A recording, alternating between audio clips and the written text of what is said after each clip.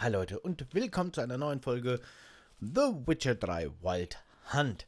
Hey, ich habe gerade bei der Abmoderation der letzten Folge noch gesagt, dass wir ähm, die zwei fehlenden Folgen, dass ich die so schnell wie möglich mache und hochlade. Aber jetzt ist mir gerade aufgefallen, dass die PlayStation 5 Wann ja, ich glaube, die erscheint schon am Donnerstag, oder?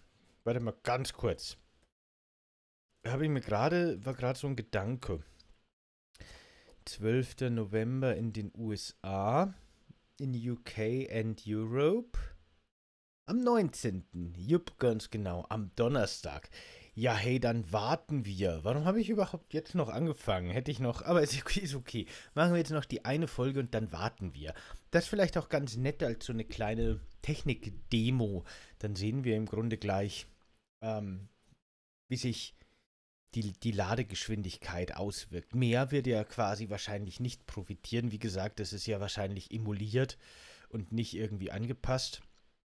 Aber wenn das funktioniert mit dem Safe-Game-Transfer, und ich, ich google noch mal kurz, aber ich glaube, ich habe auf jeden Fall gerade speziell für Witcher 3 gelesen, dass es definitiv gehen wird. Uh, Witcher 3 PS5 Sony has recently confirmed that players will be able to transfer all their save data from the PS4 to the PS5. 10. Oktober ist die Meldung, weil ich habe gelesen, dass es eben nicht mit allen Spielen funktioniert. Die behaupten jetzt hier, nerdbot.com behauptet jetzt hier, dass Sony gesagt hat, es geht mit allen Safe Data. Aber wisst ihr, was sein könnte? Vielleicht geht es nicht mit Remastered Versionen. Das könnte sein. Ja, ich finde, dafür, dass die Konsole in den USA schon erschienen ist, findet man da nicht besonders super viel Informationen.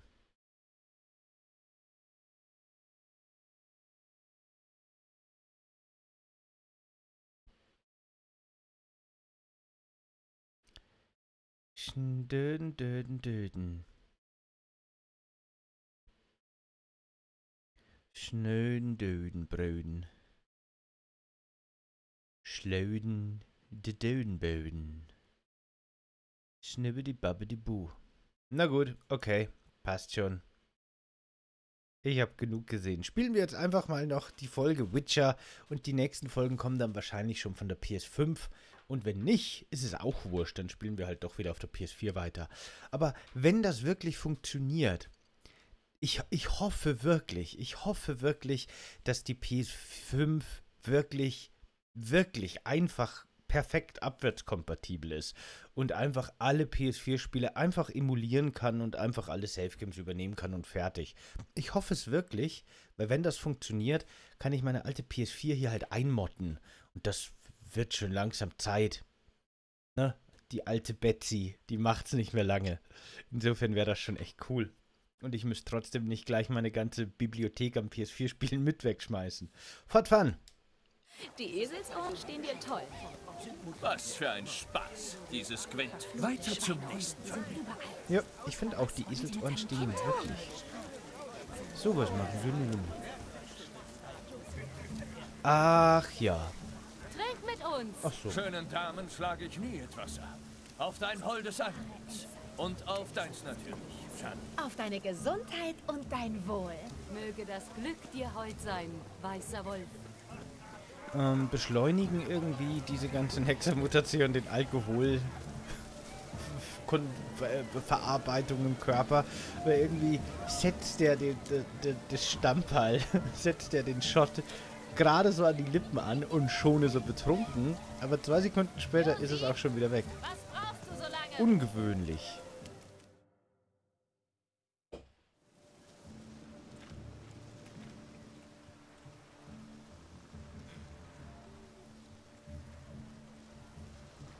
Hast du gesehen, was er rausgefischt hat? Einen alten Topf. Vielleicht trägt sein Mädel Töpfe als Schuhe, falls sie mal kein Klo findet. Du solltest meinen Pantoffel daraus holen.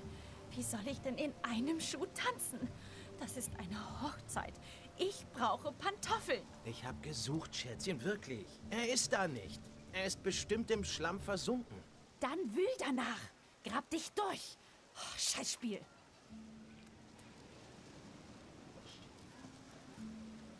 Was geht denn hier vor? Die spielen Sucht den Schuh. Nie gehört? Nie. Die Oberschicht hat andere Steckenpferde. Wie geht das Spiel? Ein Mädchen wirft einen Schuh ins Wasser, ihr Freund springt hinterher und holt ihn wieder raus. Das klingt echt nach So einem was. ziemlich Durch die bekloppten Spiel. Werden sie nicht nur unfruchtbar wie Mulis, sondern ihnen wachsen auch Eselsohren. Möchte wissen, was denen noch alles gewachsen ist. Und wenn ich ihn rausfische? Na, dann ist deine Freundin froh, weil du dann ein gut aussehender, praktischer Kavalier bist. Und das war's? Kein Preis? Nicht mal einen Kuss? Hängt von der fraglichen Dame ab. Wenn sie dir einen geben will, gut. Aber müssen muss sie nicht. Sie muss nicht müssen, außer sie will müssen. Gut, dann machen wir das. Ähm, fehlt hier Sprachausgabe oder muss das so sein? Oha. Das war noch nicht alles.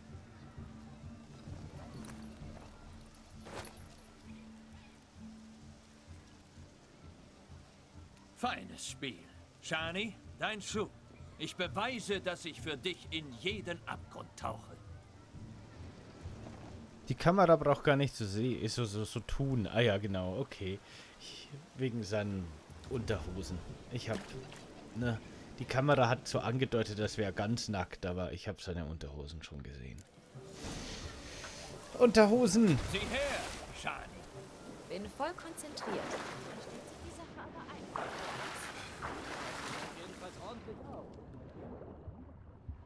Ist aber auch ein tiefer Teich hier, muss man schon sagen. Ein Schuh, ein Schuh. Finden vielleicht den, finden wir vielleicht, wenn wir schon hier sind, den anderen Schuh auch gleich. Genau, das wäre super, wenn wir einfach beide Schuhe finden. Tada! Zwei Schuhe zum Preis von einem. Der doppelte Schuh. Hu, hu, juhu.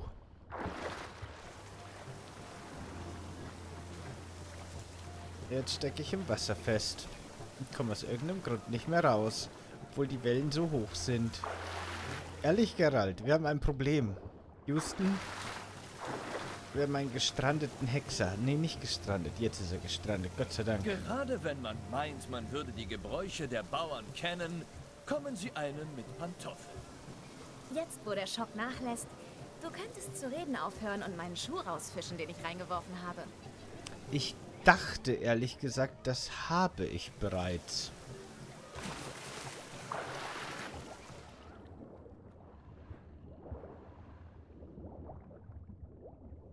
Ähm, irgendwie ist hier sonst kein Schuh. Ich glaube, ich habe alle Schuhe. Oder wurde der da hinten in eine Höhle gespült? Ne, da ist keine Höhle. Oh oh. Ich habe zwei Schuhe im Inventar. Ah, da ist noch ein Schuh. Wie viele Schuhe liegen denn hier unten?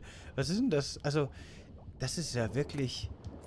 Das ist schon das dämlichste Spiel, von dem ich jemals gehört habe. Jemand wirft einen Schuh ins Wasser und ein anderer muss ihn rausfischen. Hey, das ist ungefähr so, wie wenn man Karten spielt. 32 Glaub auf. Einer wirft 32 Karten in die Luft und der andere muss sie wieder aufheben. Das ist ein Spaß. Für die ganze Familie.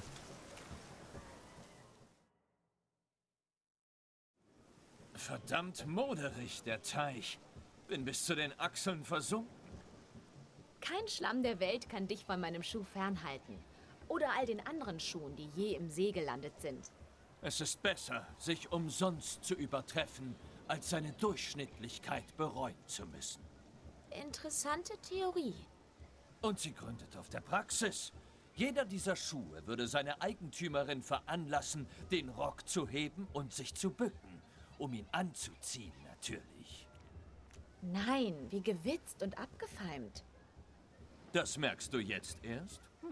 Ich finde, ich habe einen Kuss verdient. Such die Besitzerin der Schuhe. Vielleicht erklärt sich eine bereit. Sei nicht eifersüchtig, Shani. Das war ein Scherz. Die anderen sind mir einerlei. Ach ja, erkennst du ihn, Aschenputtel? Meinen Schuh? Nun streck dein geschmeidiges Beinchen aus. Lass ihn Ich meine, es hineingleiten. Vielen Dank. Ja, das war bescheuert und unnötig. Über ein herrliches Bad. Jetzt lass uns was anderes tun. Etwas Wildes.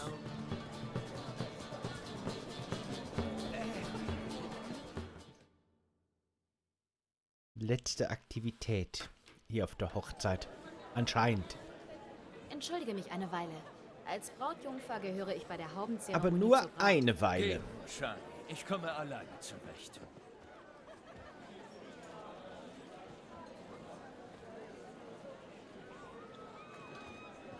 Ich bin froh, dass wir die Eselsohren gewonnen haben. Heute Abend habe ich die Delikatessen des Lebens so intensiv verkostet, dass ich nunmehr eine Rede halten will. Gerald, das muss nicht sein. Muss nicht sein. Und ob das sein muss? Ähm, bisher habe ich bäuerliche Vergnügungen eines Edelmannes stets für unwürdig gehalten.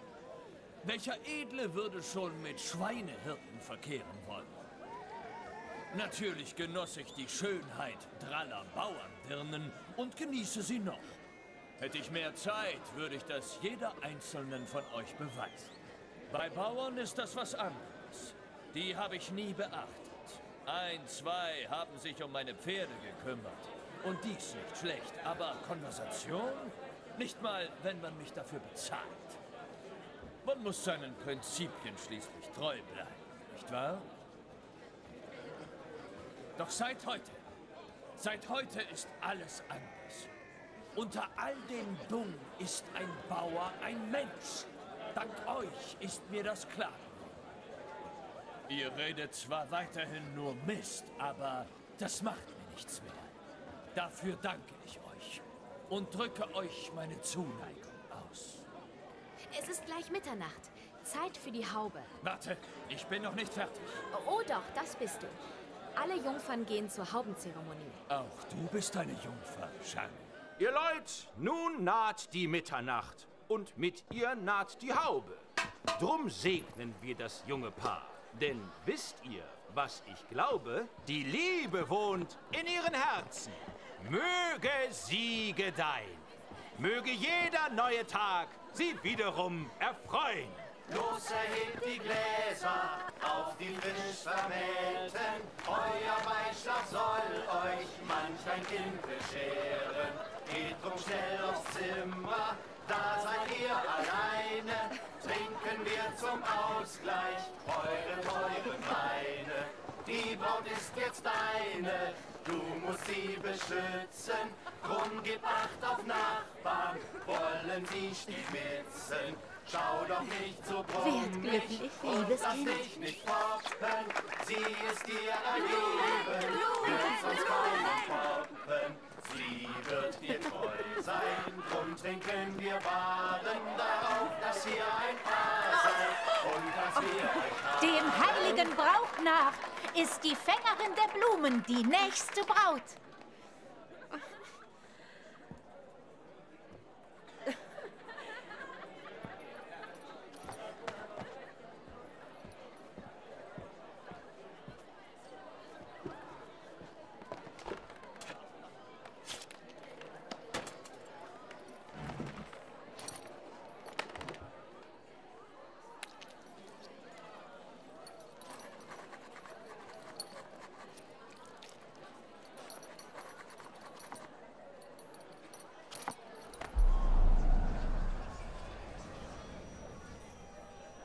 Das musste wirklich sein. Als wäre es gestern gewesen, wie wir auf Olgiers Hochzeit gezecht haben. Ich musste einfach etwas aufschreiben.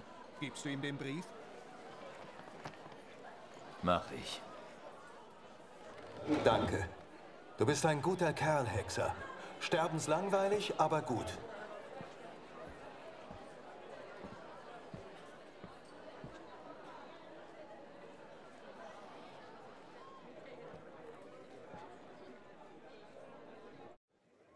Entzückende Tradition. Errötende Jungfrauen beim Tanz mit wehendem Haar, offenem Mieder, wogenden... Reicht es nie? Hast du gesehen? Shani hat die Girlande gefangen. Nach bäuerlichem Aberglauben heiratet sie als Nächste. Vielleicht. Einerlei. Es ist nach Mitternacht. Zeit für dich, in die Krypta zurückzukehren. Geht nicht. Ich habe noch zu tun. Es ist nach Mitternacht. Du kannst die hübschen Ohren abnehmen. Natürlich nur, wenn du willst. So schön sie sind. Ich steck sie weg. Ist Wladimirs Geist weg? Siehst du, sie fragt nach mir. Vermisst mich schon. Ich bin hier, mein liebliches Tülpchen. Jener Kuss, als wir tanzten, lässt mir noch immer den Kopf schwirren. Keine wilden Pferde könnten mich von dir fernhalten, ehe ich nicht noch einen bekomme. Oder zwei. Oder so viele du mir geben willst. Du hast dich offenbar gut amüsiert. Das freut mich. Ein Kuss. Ich wusste, es würde so enden. Und zugleich beginnen. Nein, nur enden. Es ist nach Mitternacht. Deine Zeit ist gekommen. Ha! Wen scheren solche Kinkerlitzchen? Der Tod fordert mich nicht zurück. Was sollten wir da nicht weiter feiern? Was soll Gerald davon halten? Du hast ihm dein Wort gegeben. Shani, Liebling, ich bin tot. Von einem Toten kann man nicht allzu viel erwarten. Wladimir von Everek, geh dahin zurück, wo du hergekommen bist. Ich bitte dich. Halt dich da raus.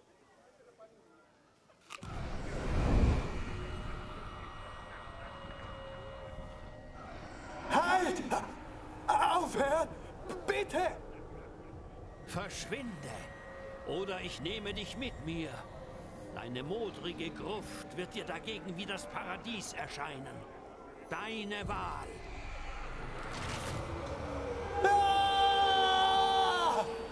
Hör auf, ihn zu quälen. Ich verspreche, ihn nicht umzubringen.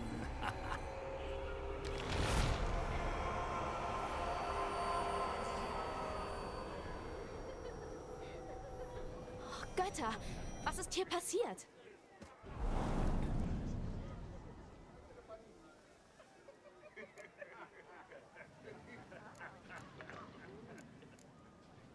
Was hast du ihm angetan? Ihn dahin geschickt, woher er gekommen ist.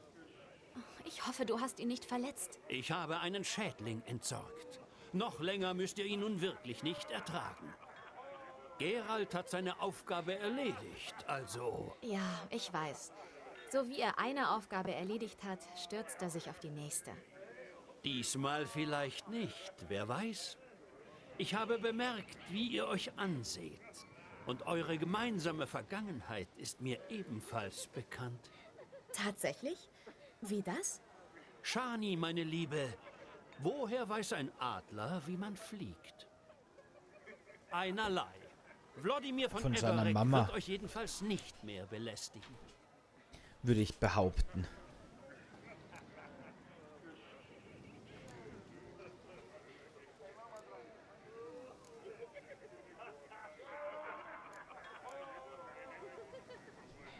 Ich würde gerne noch bleiben, aber Keine Entschuldigung, Gerald. Ich bin nicht wütend. Ein Hexer muss seinem Weg und seiner Profession folgen. Ich habe vielleicht den falschen Eindruck gekriegt und einfach zu viel von dieser Hochzeit erwartet. ich weiß nicht, ob ich dich verstehe. Nicht so wichtig. Ich sehe nach Aldona. Schließlich bin ich ihre Brautjungfer. Ah, da ist es. Das Gesicht eines Mannes, der eine Frau nicht versteht. Und du verstehst sie? Natürlich. Frauen sind schlicht. Leider sind Männer hoffnungslose Idioten. Deine Freundin wird nun gekränkt sein. Pflück ihr Blumen oder lade sie auf einen Humpen ein. Dann kommt sie drüber hinweg. Ich brauche keine Ratschläge, danke. Sie hat was für dich übrig. Du für sie auch. Nicht drüber nachdenken. Einfach spontaner Ehrlichkeit nachgeben. Das ist das Schönste an menschlichen Beziehungen. Ihr müsst ja nicht wie Aldona und Jonas enden, als verliebte Trottel, die sich auf ewig gebunden haben. Nutzt die Nacht und eure Chance. Genießt einander. Das war's. Viel Spaß.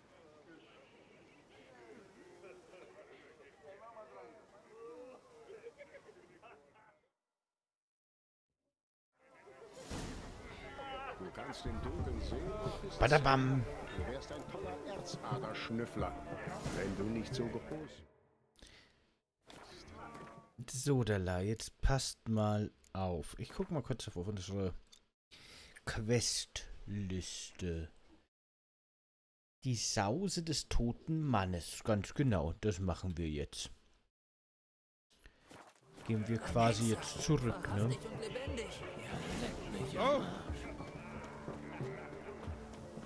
Wo, um Himmels Willen, ist eigentlich die nächste Schnellreise? Gleich da vorne. Sehr gut.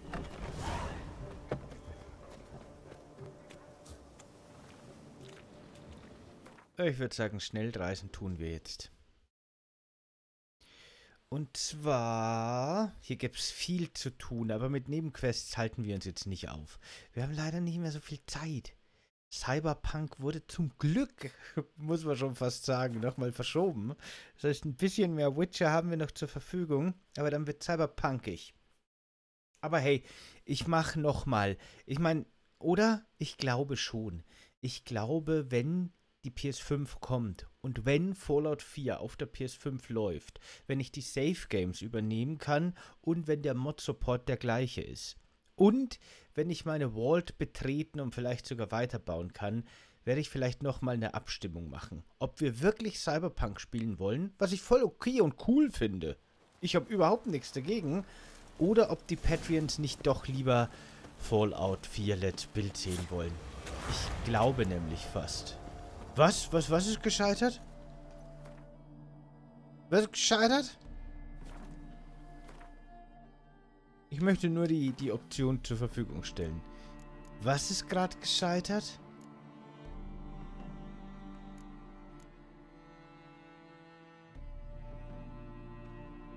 Oh!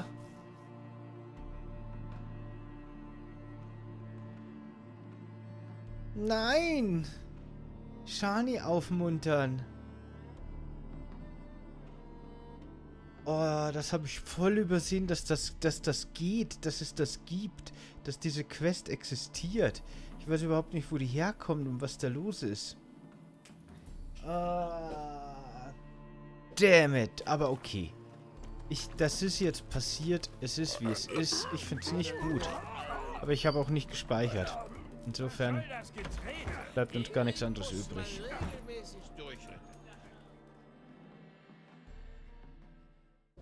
Was treiben die da? Spielen. Zu groß geratene Kleinkinder, weißt du.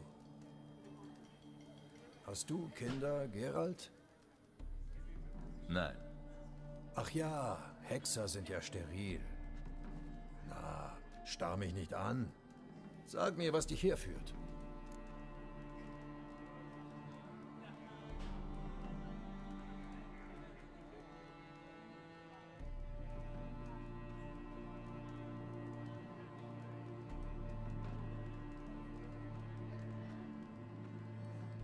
Sorry, die Katzen sind bescheuert.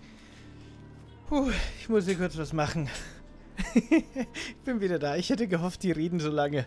Die reden lange genug, dass es gar nicht auffällt, dass ich weg bin.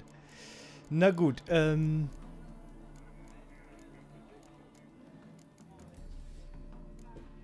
So einen Säbel sehe ich zum ersten Mal. Woher stammt er? Ophir. Er war ein Geschenk. Jeder schwachbrüstige Feigling kann sich eine Klinge an den Gürtel hängen und auf gefährlich machen. Aber mein Säbel ist ein Versprechen. Wenn ich ihn ziehe, rollen Köpfe. Schon sein Anblick vertreibt den Leuten die Lust auf ein Duell mit Olgierd von Everek, dem berüchtigten Gesetzlosen. Mein Medaillon sagt, dass er magisch ist. Ach was, sagt es das? Eine bessere Waffe dürftest du noch nicht gesehen haben. Ich frage mich, wie du den Ophiri in eine Kröte verwandelt hast. Mittlerweile bin ich mir ziemlich sicher, dass das kein Allerweltsfluch war. Ist das Berufsinteresse oder stinknormale Neugier? Berufsinteresse. Die Information könnte mir noch nützlich sein. In der Zukunft? Du glaubst wohl, dass du die Aufgaben löst und glücklich bis an dein Ende lebst. Wird man sehen. Also, gib es zu. Dir hat ein Magier geholfen, stimmt's? Ich gebe dir einen Tipp. Du bist hier nicht der Einzige, der Wünsche erfüllt. Odim hat den Ophiri verwandelt? Auf deinen Wunsch? Nein, das war ich allein. Aber du hast recht, es war kein gewöhnlicher Fluch, sondern ein im Zorn gesprochener Wunsch. Ich hätte auch nicht gedacht, dass er sich erfüllt. Mehr sage ich nicht. Dein Trupp. Interessante Leute sind das. Interessant? Wieso? Gewöhnliche Zecher und Raufbolde allesamt. Wo hast du sie aufgetrieben? Manche sind schon seit Ewigkeiten bei mir. Andere fand ich unterwegs. Wieder andere haben mich gefunden. Bei Gelagen aller Art sind sie jedenfalls gute Gesellschaft. Und seit ich mit ihnen unterwegs bin, sind meine alten Gegner still wie die Mäuschen. Wladimir lässt dich grüßen. Du hast mit ihm gesprochen. Unglaublich. Nicht nur das, ich habe deinen Wunsch erfüllt und mich mit ihm unterhalten. Willst du wissen, was er gesagt hat?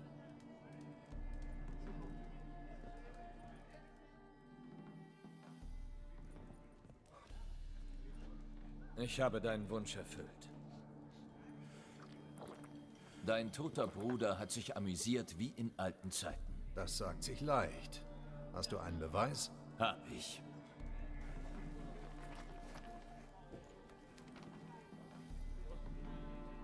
Wladimirs Schrift. Unverwechselbar.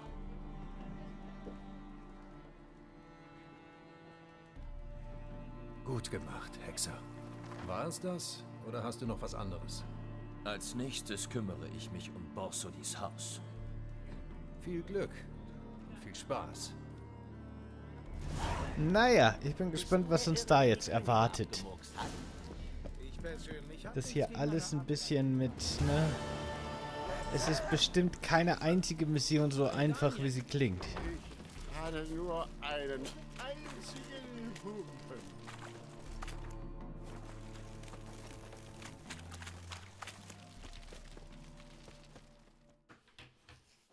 Schauen wir mal, was hier auf uns wartet.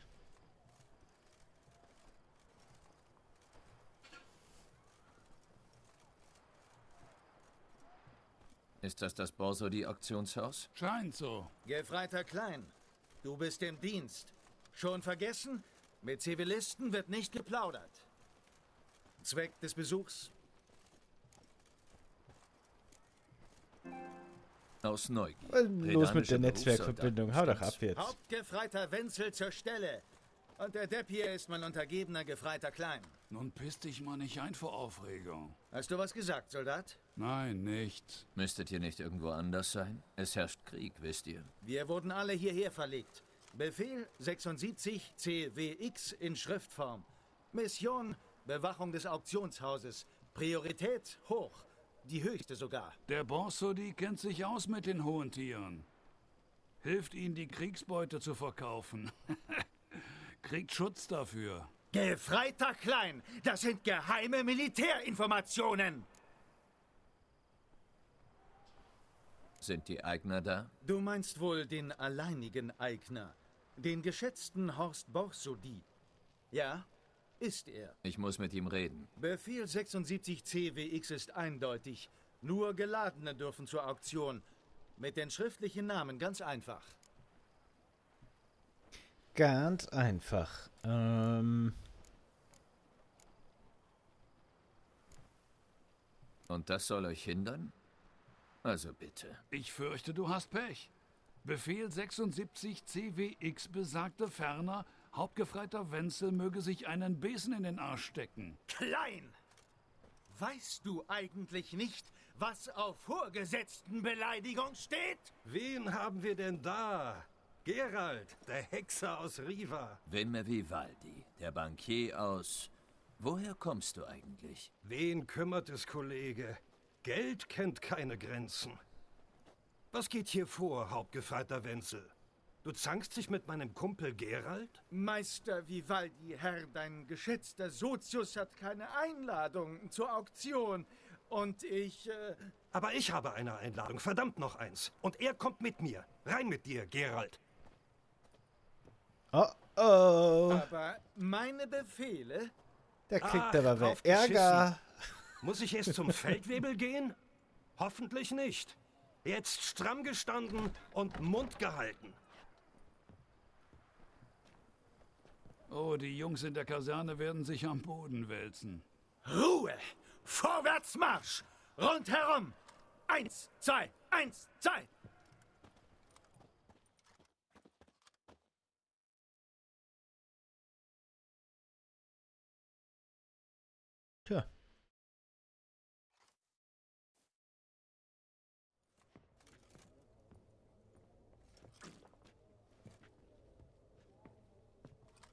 Dank dir für die Hilfe. Schon gut. Ich kümmere mich gerne um alte Freunde und Kunden. Welch Freude, mit dir Geschäfte zu machen, Wimme. Das hat meine liebe Verblichene auch immer gesagt. Aha, die Leute kommen zusammen. Die Auktion fängt gleich an. Lass uns raufgehen.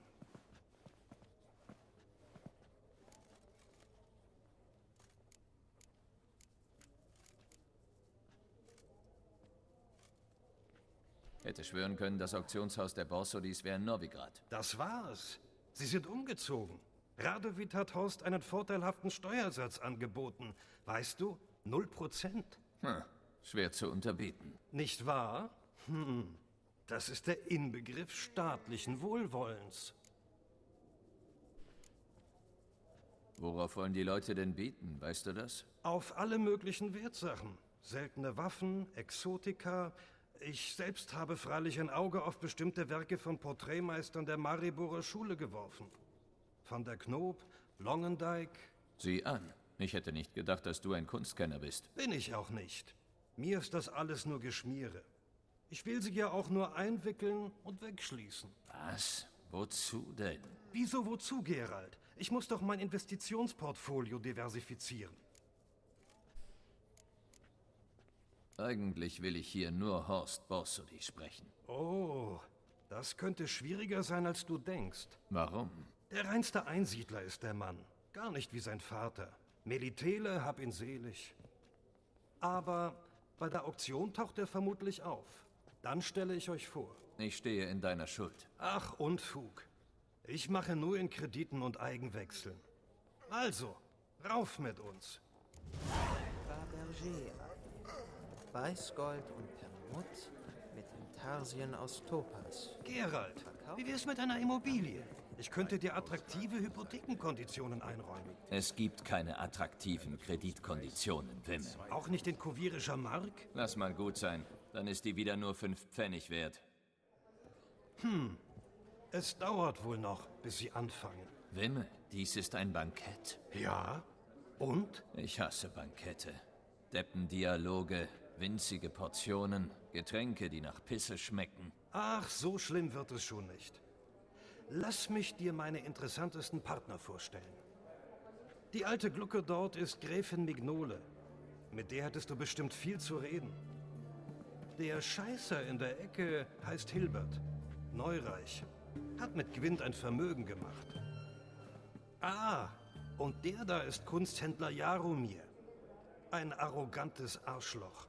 Aber mit Gemälden kennt er sich am besten aus. Na, sollen wir mit jemandem reden? Es ist unpassend, hier zu stehen wie die Ölgötzen. Ah, Na dann. Ah, Gerard, riech mal. Hier riecht es nach Geld. Gegrüßt seid ihr, ehrenwerte Gräfin. Madame, darf ich vorstellen? Mein lieber Freund, Gerald von Riva. Hexer der Wolfsschule. Verzeihung, hatten wir das Vergnügen schon? Nein, aber deine Gilde ist unverkennbar. Das Medaillon. Jawohl, Gerald. Gräfin Mignole ist eifrige Sammlerin von Veduminalien. Vedumi... was? Alle Arten von Gegenständen, die mit Hexern in Zusammenhang stehen. Schwerter, Ausrüstungsteile, Medaillons.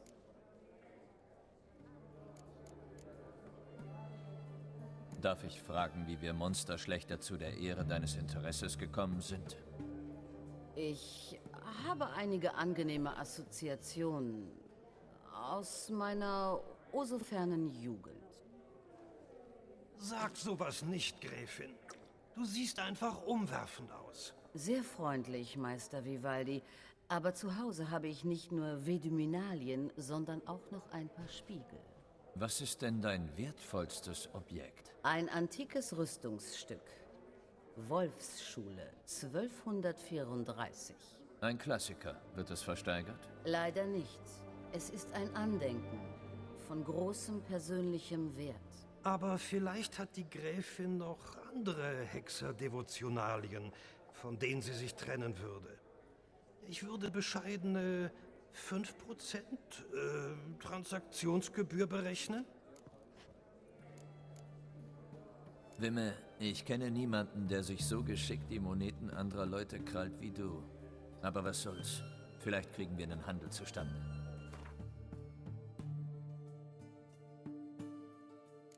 So, was haben wir denn hier? Vipan-Rüstung. Vipan-Stiefel, Vipan-Handschuh, Schemata für das komplette Vipan-Set. Ähm, und gar nicht teuer. Katsching, würde ich sagen. Katsching. Katsching in die, die Eselsohren darf ich behalten und die sind unter Waffe gelistet? Okay, verkaufen wir ein bisschen Plunder.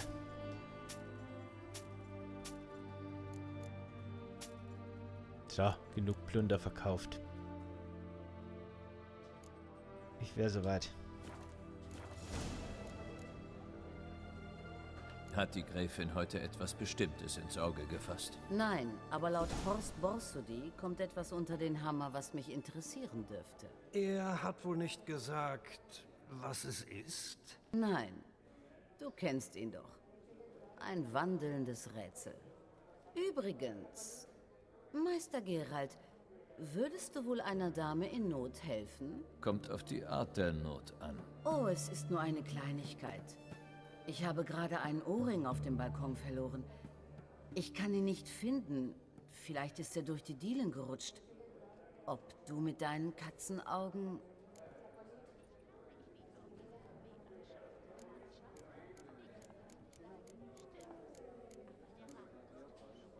Kein Problem. Ich sehe mal nach. Ich bin dir sehr dankbar. Bis gleich dann, Wimme.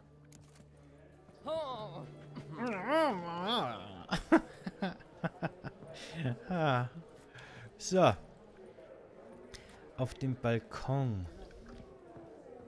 Ist das irgendwie eine Falle oder irgendwas? Weil ich meine, das ist ein bisschen komisch, Hm. oder?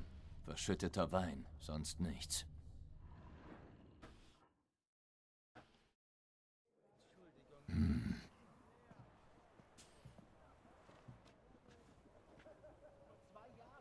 Hier gibt's gar keinen Ohrring, oder?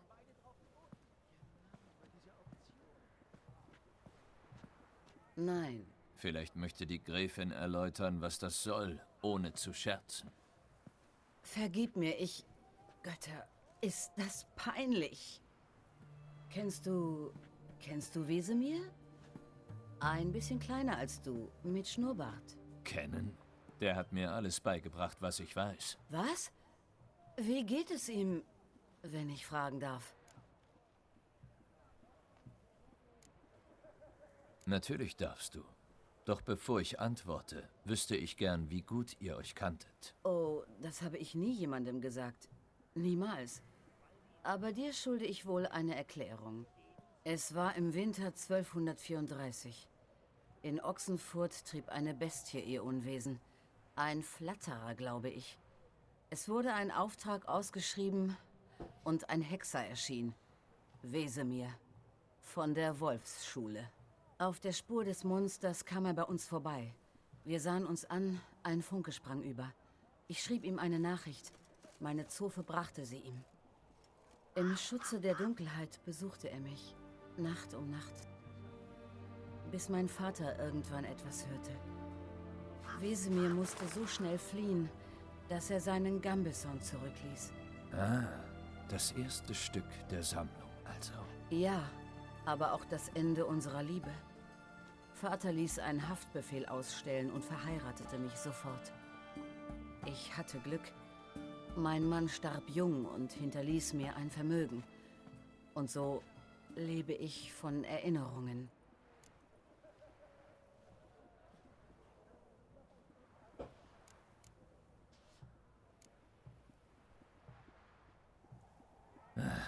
Ich habe schlechte Nachrichten. Oh?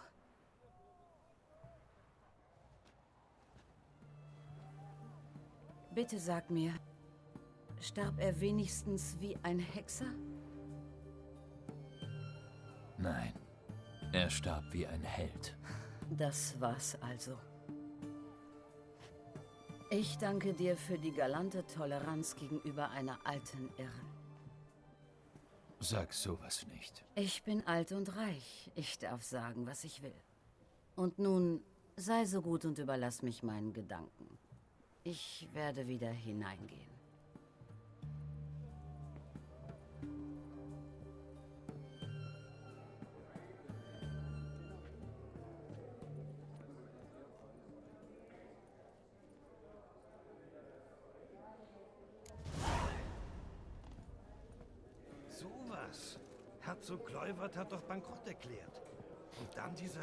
Das war nett, Scheiße, oder? Das war interessant. Das war nett.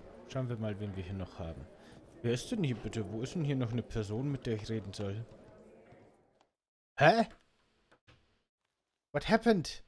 Ich weiß nicht genau, was jetzt los ist. Schauen wir mal.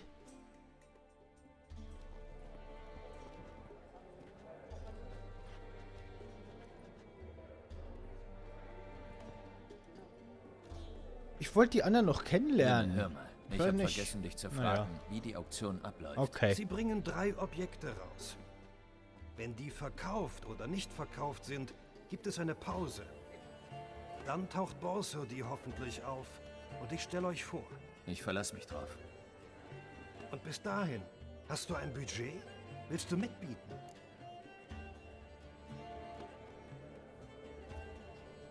Natürlich. Jetzt habe ich mich schon hier reingeplagt.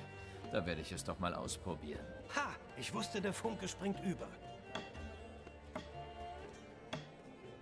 Geschätztes Publikum, willkommen zurück. Hiermit erkläre ich die Auktion für eröffnet. Meine Damen und Herren, Objekt Nummer 1 ist eine Messingfigur aus der Sammlung des berüchtigten Grafen Romilly.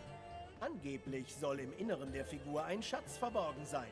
Ein Gerücht, das sich nur durch das Zerstören des wunderbaren Kunstwerks überprüfen lässt.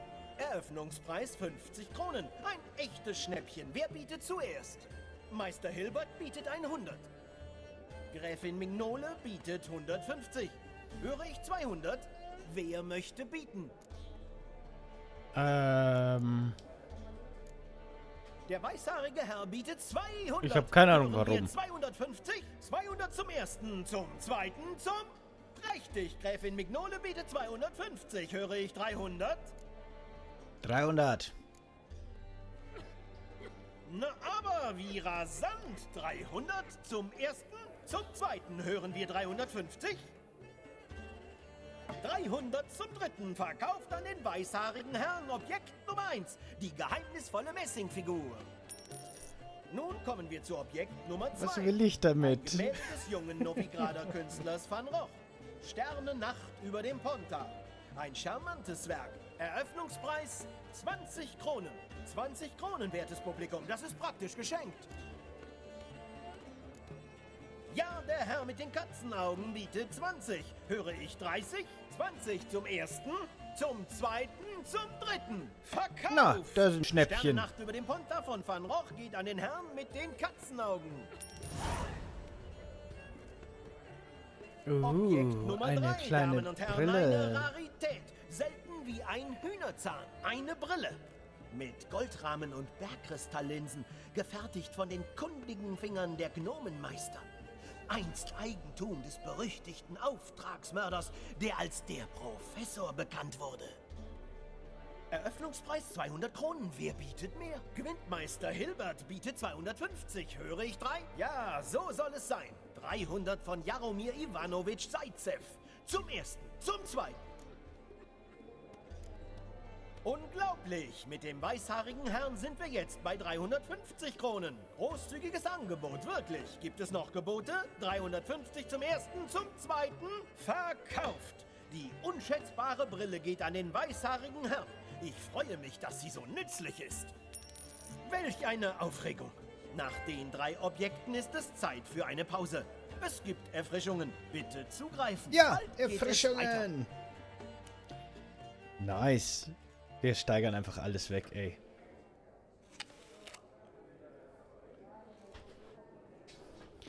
Wurst und Fisch Oh, und Gerard, Bier, schau. juhu. Horst Borsody. Schnell, ehe die anderen Schwanzlutscher in sich grapschen. Nur erwarte kein herzliches Willkommen. Aber nicht sehr nett, den angebissenen Apfel einfach irgendwo dich, wegwerfen. Horst. Gestatte mir, dir einen lieben Freund und Partner vorzustellen. Gerald von Riva, der... Nicht eingeladen ist.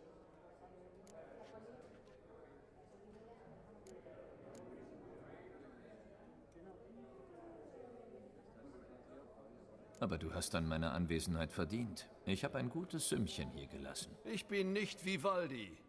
Profit allein reicht mir nicht. Ich will mehr. Das Auktionshaus ist vor allem ein Treffpunkt für die lokale Elite. Offenkundig passt ein Wandermutant hier nicht rein.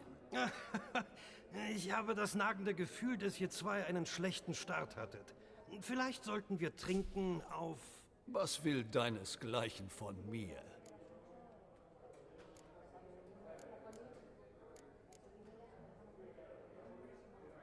Auktionshaus der Borsodis. Die Mehrzahl in dem Namen ist doch kein Zufall. Hast du einen Verwandten, mit dem ich reden kann? Einen, der, nun, nicht ganz so ätzend ist wie du? Der Name ist historisch, Gerard. Das Auktionshaus wurde von zwei Brüdern gegründet. Horsts Vater und seinem Onkel. In dieser Generation... Es gibt mich und nur mich. Kommt zur Sache, sofort. Schön, sparen wir uns die Floskeln. Maximilian Borsodis Haus. Ich muss es finden, was immer es... Was? Wie hast du davon erfahren? Meine Herren, kein Grund, die Kontenance zu verlieren. Bitte, beruhigen Sie sich. Ich fragte, wie hast du davon erfahren? Boah, ganz ruhig. Wo?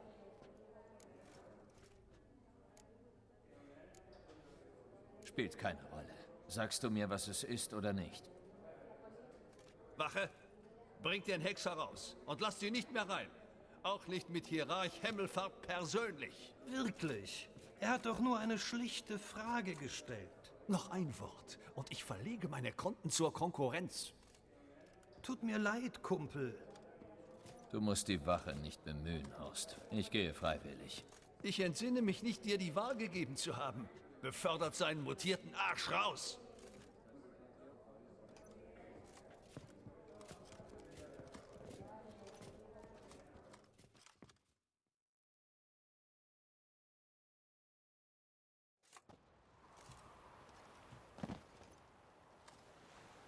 Deine Schwerter, Meister. Wir müssen sie zurückgeben, sagt das Gesetz. Das Gesetz sagt aber nicht wann.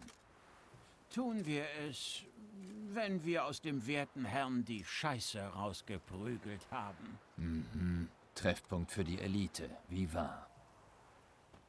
Kommt, Jungs. Lockern wir die Muskeln.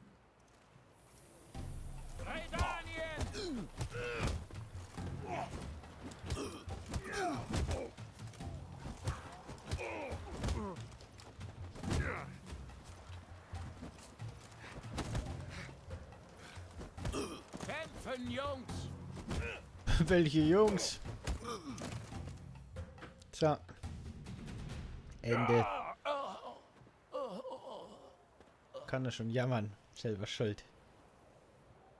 Das Gesetz sagt, wenn jemand verletzt ist, hole einen Heilkundigen. Das Gesetz sagt aber nicht, wie schnell. Man kann ein Weilchen warten. Es stimmt, was man sagt. Schwert oder nicht. Ein Hexer weiß, wie man Knochen bricht. Ich bin nicht in der Stimmung für Bauernweisheiten. Wer zum Teufel bist du? Wenn alles gut geht, würde ich sagen, dein Partner. Ich brauche keinen Partner. Oh, da bin ich nicht so sicher. Alleine kriegst du Max Borsodis Haus niemals.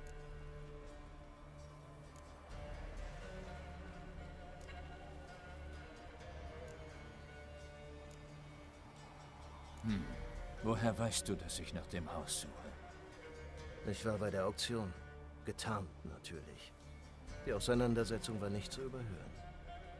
Kommt zur Sache, wenn möglich. Um das Haus zu kriegen, musst du erst in die Schatzkammer gelangen. Und aus Freundlichkeit lässt Horst dich dann niemals rein. Ein Raub? Diese Idee gefällt mir nicht. Hast du eine andere? Geh zum Kräuterkundler bei Ochsenfurt und frag nach Schafgarbenextrakt. Er wird wissen, warum du gekommen bist. Wenn das eine Falle ist. Bis dann. Hoffentlich.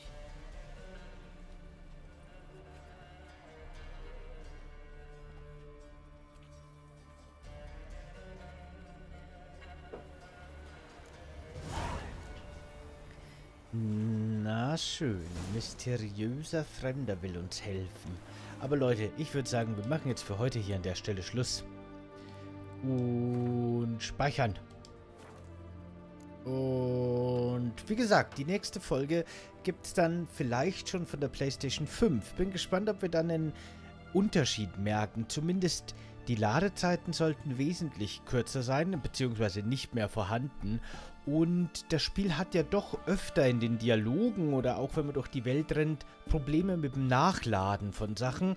Auch das könnte auf der PlayStation 5 eventuell behoben sein, ganz automatisch ohne Optimierung. Mal schauen, ich bin gespannt, ob man was merkt. Auch die Framerate ist wahrscheinlich stabiler, flüssiger, keine Einbrüche, auch wenn mal ordentlich Action am Bildschirm ist. Mal schauen. Naja, gut, aber für heute machen wir Schluss. Äh, danke fürs Zusehen. Bis zum nächsten Mal. Adios.